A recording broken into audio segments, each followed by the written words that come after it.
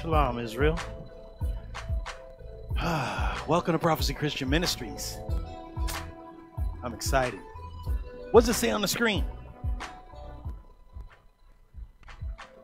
Which team are you on? It sounds like a sounds like a trick question. Sounds like a trick question. Disciples versus Christians, which team are you on? Let's start off with the scripture. I want to show you guys something very interesting. Bring the beat down just a touch and give me Job chapter 36, and we're going to be starting at verse 10. It says, He openeth also their ear to what? He openeth their ear to discipline and commandeth that they return from iniquity. This word return in the Hebrew is the is a, it's a verb. It means shub. Shub. It means to physically turn. This is also the same word that is used for repent. So he openeth their ear to what opinion? No, to discipline. And commandeth that they repent, return from iniquity. Today we're going to be talking about discipline, but in the course of that, we're going to take a look at the difference between a disciple and a Christian because discipline is a process of being instructed, corrected, and punished. Sometimes we skip over stuff like with our kids and we just jump right to punishing them, right?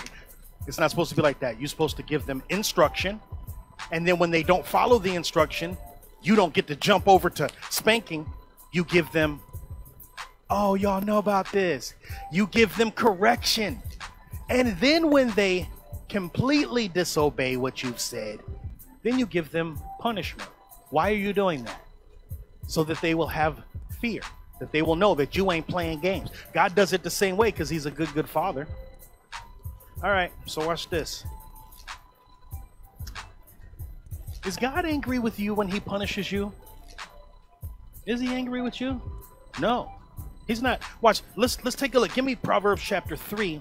Let's take a look at verse eleven. Proverbs chapter three, verse eleven. The Bible says, "My son, despise not the chastening of the Lord." What does chastening mean? The correction, the correction and the punishment. Right? The instruction, the correction, and the punishment. All of that is the chastening. That's like you getting tightened up, right? He's tightening you up because you was off the path. It says, My son, despise not the chastening of the Lord, neither be wary of his correction. And then, and then the scripture tells you why. Give me the next verse. Verse 12. For whom the Lord loveth, what does he do? If the Lord loves you, he's going to correct you. Now, we had a very deep Bible study yesterday, and it explained what love is and what hatred is. See, if you see somebody committing a sin worthy of death and you don't correct them, that ain't love, that's hate. You hate them. You see them going completely off, and you're like, man, if God was here, he would strike you down right now. but I'm just going to let you keep doing what you're doing. You hate them when you do that. But the scripture says, Thou shalt in any wise rebuke thy neighbor and not suffer sin upon him. So correction is an action of love. We correct our children because we love them. The scripture says, For whom the Lord loveth, he correcteth, even as a father the son in whom he delighteth. All right, now watch this. He repeats himself, and this is an excellent example of how the precepts work in the scriptures. Because Timothy, as he is writing the book of Hebrews, he remembers what is said in the book of Proverbs. I mentioned that Timothy wrote the book of Hebrews. Most people don't know that because their Bibles don't say that. But if you have an old Bible, an old King James Bible, like a King James 1611, the very last verse in the book of Hebrews tells you that Timothy wrote the book of Hebrews to Italy. Okay. So don't let nobody tell you Paul wrote it or James wrote it or we don't know who wrote it. If you get an old enough Bible, it will tell you who wrote it. Now, watch this in order for Timothy to teach this lesson, he doesn't make up his own words regarding discipline. He draws back to the scriptures. Give me Hebrews chapter 12, verse 5. The Bible says, And ye have forgotten the exhortation which speaketh unto you as unto children. None of y'all in here are children, but everybody in here is a child. Ain't that that's weird, right? Pastor, that sounds like a contra contraband. It sounds like contraband. No, not. It sounds like a contradiction. Why is that? Nobody in here is a. You guys are not children. Our children are, are in that room. But everybody here is a child of God, and everybody here has a mother and a father and a father in heaven. But you have forgotten the exhortation. That's the warning, which speaketh unto you as unto children. And then look what he does. He says, My son, despise not thou the chastening of the Lord nor faint when thou art rebuked of him. See, when God cor- corrects you, don't be like, oh, I'm giving up. I can't do it. That's what first thing we want to do. We're like, oh, you corrected me? Well, I'm just going to go completely off now. God, what are you doing? Why are you despising the correction? Give me the next verse, verse 6. It says, For whom the Lord loveth, what does he do? He chasteneth and scourgeth every son whom he receiveth. You know what a scourge is? Man, that's a powerful one right there. I, there's a story in the Bible about Jesus, and it's the time of the Passover, and he walks up in the temple and he's like, "Hey, uh, what's that cattle doing in here? And you, you, you selling in here on the whole?" Let me get some. Okay, and he starts braiding up some cords. I'm like, "Yeah, I got some for you," and he's braiding it up, and he made a scourge. What is that? What is that? He whipped them out of the temple. They got a whooping. you got a whooping from Jesus? Was he doing that because he was mad? No, that's correction. Yeah, if you keep doing that, you're going to get destroyed. So don't despise the whooping that you get from God. Neither should your children despise when you correct them, but it all depends on what attitude you're correcting them in. If you're demonstrating anger, and taking out your frustrations on them, well then that's that's not how God does it. God doesn't take out his frustration on us. He instructs us, he corrects us, and then if we continue to do it, then he scourgeth every son whom he receiveth. Where in the Bible did Jesus teach people how to raise people from the dead? Anybody know that verse? You're looking around like that's in Second Opinions, verse no. Oh, wh- where did he teach people how to walk on water? Take put one foot. No, that verse not in there. That's in Second Assumptions. Yeah, that's not in there. Okay. Um, do you know that? Do you know why Jesus didn't teach you how to raise people from the dead or how to heal the sick using a scientific formula how to walk on water? Because without faith, it's impossible. You can't do it. So what did he teach you? How to have faith. So he taught you the root so that you could use that faith to do whatever you want to do. If all I taught you how to do was walk on water, you'd be able to do a really good trick. You'd probably be like David Blaine. But if I taught you how to have faith, you would be able to reach people around the world and demonstrate your faith. So Jesus is like, instead of teaching you how to heal the sick, I'm going to teach you how to pray because the effectual, fervent prayer of a righteous man availeth much. Instead of teaching you how to not have fear, I'm going to teach you how to love. Because what does love do? Love casts out, right? Perfect love casts out fear. Instead of calling you Christians, uh oh, which team are you on? Instead of calling you Christians, I'm going to call you my disciples. Why is that? Because you were receiving the discipline from the master. I, you guys are not getting it. Show them the slide real quick. I created a slide so that you guys can understand how this process goes. Take a look. Now, this dude, his steps, he got long legs. I don't, I don't know how he's doing it. Are you skipping all the steps that make you grow as a disciple? First, you become a disciple. And after you have learned the discipline and you can use these things and you follow Christ and you walk like Christ, then they're going to call you Christians. It doesn't say that the Christians were called disciples, it says that the disciples were first called Christians at Antioch. I want to talk for a minute about discipline versus disappointment. Think about that. Anybody here ever been disappointed? Yeah. When your life lacks discipline, it is full of disappointment. When you don't do the thing that you are supposed to do, that you were called to do, that you know God, God has opened up this door and moved everything out of the way so that you can have this thing. And He says, I want you to do this one thing. And you don't do that one thing, what's at the end of the journey?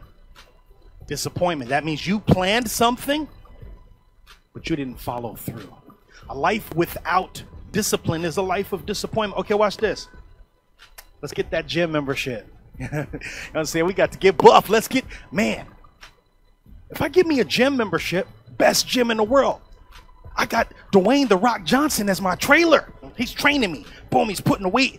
We lifting it. And I'm like, man, I'm sore today. That was good yesterday. I did real good. I was there yesterday, but I'm not going today. And then because I didn't go today, you know what? I'm not going to go tomorrow. I'm getting a little tired. And a couple weeks, a couple months, couple years later, have I exercised discipline? Nope. So what is what does my fitness goal become? A disappointment. It works that way in everything in life. How many times is the word disciple found in the Bible? Think about that. No, nobody knows. How many times is the word Christian found in the Bible? Somebody ought to know that. What'd you say? Exactly three times. The word disciple is found 272 times in the King James Bible. Yeah. Jesus, what did he call his followers? Did he said, "You are going to be my Christians"? No, he said, "You're going to be disciples." Okay. Um, who started calling them Christians?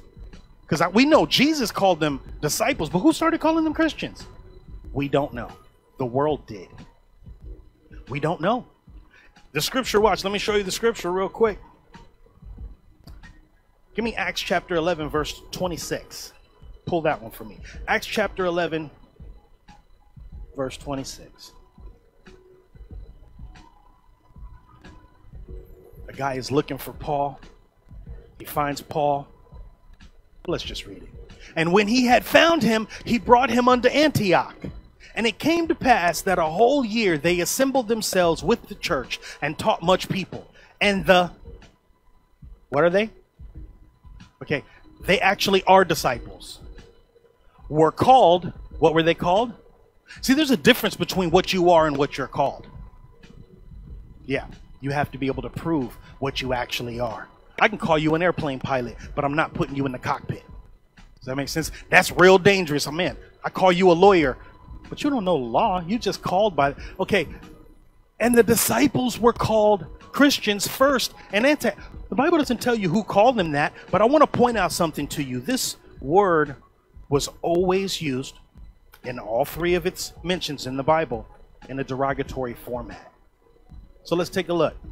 Give me 1 Peter chapter 4 verse 14. 1 Peter chapter 4, verse 14. Bible says, If ye be reproached for the name of Christ, happy are ye. For whose name? You got reproached. People are speaking against you for the name of Christ. You should be happy. It says, For the spirit of glory and of God resteth upon you. On their part, he is evil spoken of, but on your part, he is glorified. Now, I want you to see the structure of these words. Verse 15. He says, But let none of you suffer as a murderer. Is that a positive term if I called you a murderer? No, that's derogatory. But let none of you suffer as a murderer or as a thief. What about that? If I called you a thief? No? By lifting you up or pulling you down? Okay, that sounds derogatory. Or as an evildoer or as a busybody in other man's matters. Are any of those positive? No. Okay, then let's keep going. Let's keep this in context. Give me the next verse. Yet if any man suffer as a. Huh. Wait, is he using that in the positive context? No, he's not. He's saying, if ye be reproached for the name of Christ, then you are happy. Right? Happy are ye. But don't suffer as any of these things, but if you suffer, if any man suffer as a Christian, let him not be ashamed. Let him glorify God on this behalf. Now, this is what's weird. I don't know why we do this. Uh, was it was he Jesus, Jesus Christ? Was it Jesus Christ? It was Jesus Christ. But why do we call ourselves Christians instead of Christians? Have you ever thought about that? Yeah. Um, so the word disciple is in the Bible 272 times, and there is only one mention of disciple in the Old Testament. You know where it is? It's one of my favorite verses. It's the key to unlocking the difference between a Christian and a disciple. Because anybody can say that they are a Christian and learn Christianese. You guys know what Christianese is, right? That's when you, you hang out in the church or you're around your Christian friends. Uh, amen, brother. Praise the Lord. All of those things, that's Christianese. That's the language that you speak. But when you're a disciple of Christ, men are going to know that you're a disciple by one thing, and it's not the language that you speak, it's the it's the love that you have one toward another. So you can't fake that love, but you can fake being a Christian. You can, man, my suit look good. I learned the language really good, but I don't live this thing out. Okay, let's take a look at this one mention of disciple. I like this one. Give me Isaiah chapter 8, verse 16, because he tells you the key to being a disciple. He says, bind up the testimony. what the testimony of who? Jesus, okay, and seal the law. What law? The law of sacrifice? Absolutely not. What law is he talking about? The law of God. Okay, so he says you got to have two things. You got to mix these two things together. You got to have the testimony of Jesus and you got to seal the law among who? This is the only mention of the word disciples in the Old Testament. Now, I encourage you to go back and read this because this whole chapter is talking about Christ and he's giving some instruction. Now, jump down to verse 20 so that you can see what happens once you have bound the testimony. Where are you binding that up? In your mind and in your heart. And you have sealed the law. Isaiah chapter 8, verse 20. There's something that the disciples are supposed to have. It says, To the law and to the testimony. If they speak not according to this word, why is that? Because there is no light in them. Okay. That's the very first mention of the word disciple in the Bible. And he says they need to have the testimony and they need to have the law. Okay, now let's go to the very next mention of disciple. And I want to show you something you may not have seen because to rightly divide the word is a gift from God. Give me Matthew chapter 5, verse 1. Jesus did his baptism thing. He was fasting, he was hungry, he did the temptation thing, and he's like, whew, it's time for me to speak to these people. I want you to see what the scripture says. And seeing the multitudes, who did he see? He saw the multitudes. He went up into a mountain. Where did he go? And when he was set, who came? His disciples came unto him. What did Jesus see? The multitude, a gang of people. Where was he at? He was in a mountain. Who came to him? It doesn't say that the multitudes came to him. His disciples came unto him. Watch the very next verse. And he opened his mouth and taught. Who did he teach? His disciples. Those are the ones that came unto him. Everybody else, you guys know everybody who was following Christ did not end up being a disciple. You guys know that, right? Some people were hungry and it's like, dude got mad good chicken sandwiches. If I just follow him, he gonna break some fish and some bread and I know he's gonna feed me.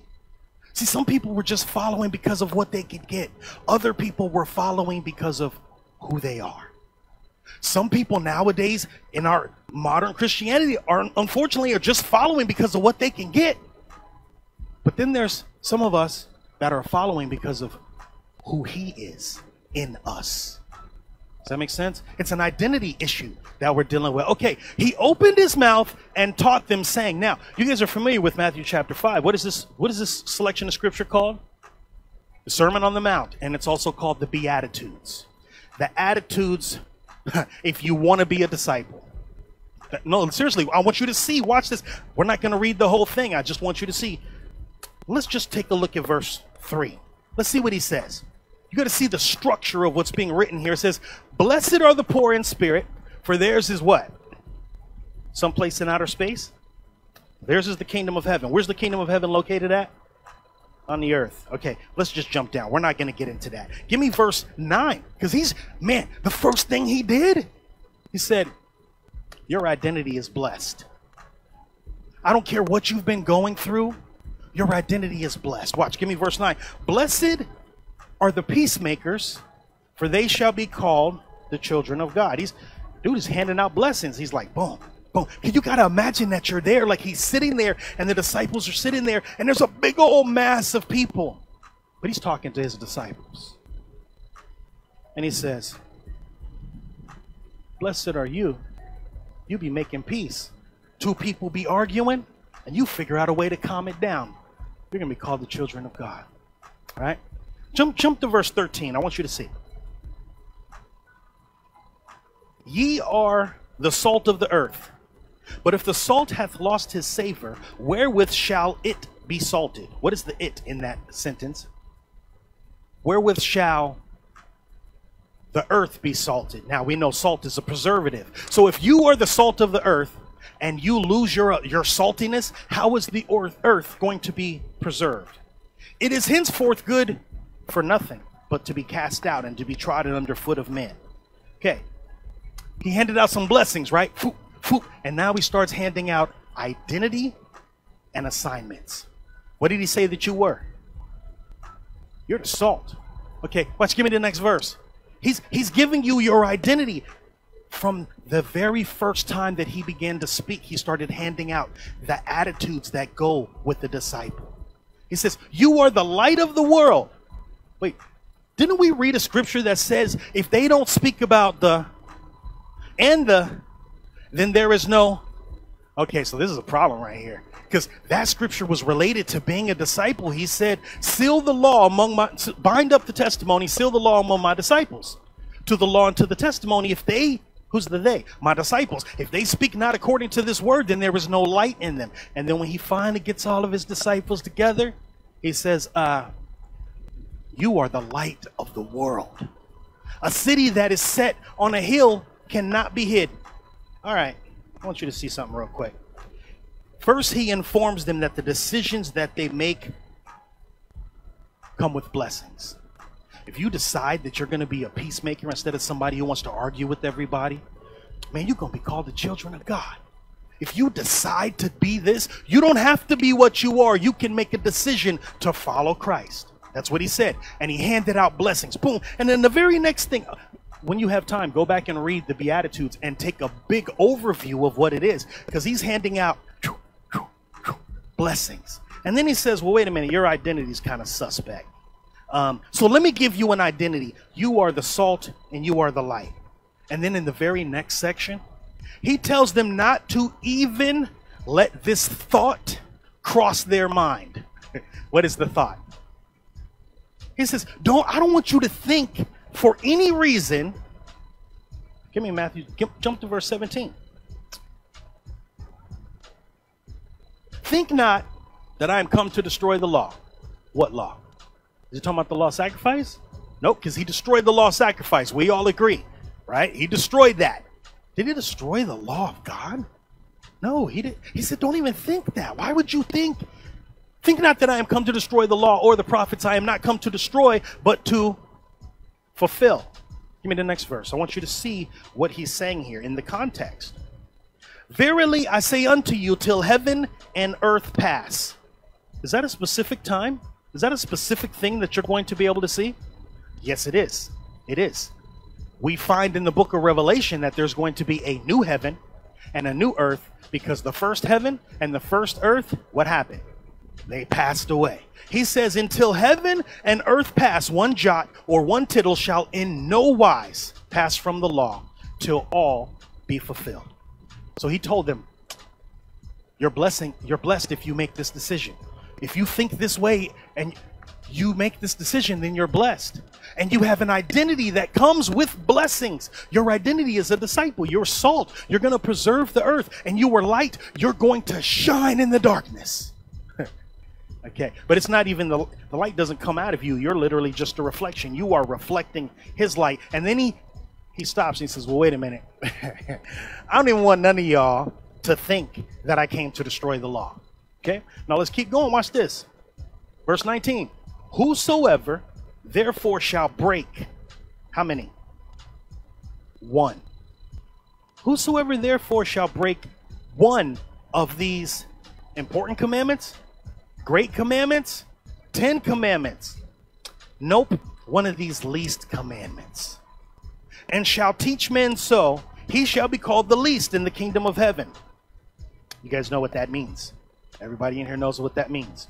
The lake of fire is located where? In the kingdom of heaven. Don't be tricked into thinking the lake of fire is somewhere else. It's on the outside of the gate, but it's in the kingdom of heaven. That's the reason why you're called the least in the kingdom of heaven. Okay, now watch this. But whosoever shall do and teach them, the same shall be called great in the kingdom of heaven. What instruction did I just get from Jesus right there? If I'm a disciple and I was sitting there and I heard him saying that out of his own mouth, he just gave me some instruction. He gave me some blessings. He gave me some identity. He told me something that I'm not even supposed to think about. And then he gave me some instruction right there. He said, I'm supposed to do them and I'm supposed to teach them. Now, this is the very first message of Jesus. Are you guys aware that Jesus Christ is the same? Guess what the last message Jesus gave was? Go ye therefore into all the world, baptize them, teach them, right? It's the same message. He's the same. Okay, now watch this. So his first message and his last message were exactly the same. He gave his last message after he resurrected from the dead, after he was already the perfect sacrifice. But he can't change his message. You still have to go out there and teach these people. Now, watch what he does next. Verse 20. For I say unto you that except your righteousness shall exceed the righteousness of the scribes and the Pharisees. Who were the scribes and the Pharisees at this time? Religious leaders. If you, to put this into perspective, every man didn't have a Bible like we do now. You can just go to Walmart and be like, "Give me three of those." It wasn't like that. This this thing was hand copied right? We when we read in the Old Testament, when a king would take the throne, he had to write the entire book of the law. That's the only way you get to be king. You can't rule over people and you don't know no rules. How you gonna judge people and you ain't read the law? They had to handwrite their own copy. Okay, now at this time, and, and let me also put this into perspective. This is the time of Jesus. There is no New Testament. Every single scripture in the Bible that uses the word scripture is only referring to the Old Testament. There was no New Testament written at that time. Okay, so the scribes and the Pharisees, oh man, they got a copy of the law. But they're not going to tell you what the law says. They're going to tell you what they think it says. And he says, Except your righteousness shall exceed the righteousness of the scribes and the Pharisees, you shall in no case enter into the kingdom of heaven. What does that mean? Well, they have the law and they spend all day reading the law, but do they do the law? No. So accept your righteousness, right choiceness. Remember, this is about choices, the things that you choose to do. Except your right choiceness shall exceed the right choiceness. See, because they had the law and they chose not to do it. They chose to interpret it their own way instead of the way that God said. You shall in no case enter the kingdom of heaven. And then he spends the remainder of chapter 5, every verse in chapter 6, and every single verse in chapter 7, and he instructs them how to be disciples. Let me just give you a brief overview. He teaches them how to understand the scriptures. He said, It hath been said. You guys familiar with those verses, right? That's where he's teaching them how to understand the scriptures. He says, uh, He teaches them how to pray, but when ye pray, be not like the heathen. He teaches them to say what they mean and mean what they say. These are good traits for a disciple to have, isn't it? Man, you pray for people, you have integrity. He teaches them how to love their neighbor, right? Bless your enemies. You guys are familiar with these verses. He teaches them how to fast, right? He teaches them how to seek the kingdom before they seek anything else. These are instructions for disciples. If you don't know this, why are you calling yourself a disciple? And if you're not a disciple, why are you running around here calling yourself a Christian? You don't get to skip over the discipleship step all the way over here. Boom. You don't get to do that. Right? Man, I'm I raised my hands and I repeated after somebody, and guess what I am now? no, no. You missed a step. Get some teaching of Jesus in your life. Learn how to love people because you can leave from here. You can raise your hands. I can dip you in the water. I can baptize you. But if you don't know how to love people, they're not going to know that you. What are you? You're still the same old man. You're still in the flesh. The first thing that Jesus did in his public ministry was not say, repeat after me and become a Christian. He said, walk how I walk. Now, this is what this word Christian means it means to follow Christ, to be like Christ. How can you be like Christ if you don't know what he was like? How can you do what he did if you don't know what he did? That sounds like bars right there. Man. Okay. And he specifically told them that there is one thing. He's talking to the disciples. Watch this. He specifically told them that there is only one thing that I don't want you to think, and that is the very first thing that Christians are taught to think. You don't have to keep those commandments. You don't have to keep that law. You can do whatever you want to do. That's what they're taught. So, what team are you on? Disciples or Christians? Because it's it's a negative term nowadays, unfortunately. Instead of Christian being associated with love, it's now associated with hypocrisy. You know how that's going to change? The world's not going to change the way they see you. You have to change the way they see you. You have to be a demonstration of the love of Christ, whether it's in this building, it's in your car, it's at home, it's on your job, when you're in school, wherever you are, that's what you have to be. That's the only way this thing works. You guys remember one last thing I want to share with you. Remember? Um, and many shall say unto him in that day, Who do you think that many is? Disciples?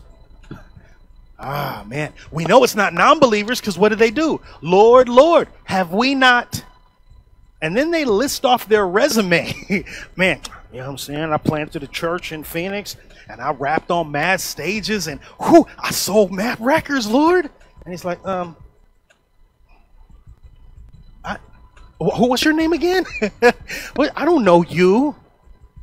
Okay, but then he's, as he's talking to his disciples, he says, By this shall all men know that ye are my disciples. What is that one thing?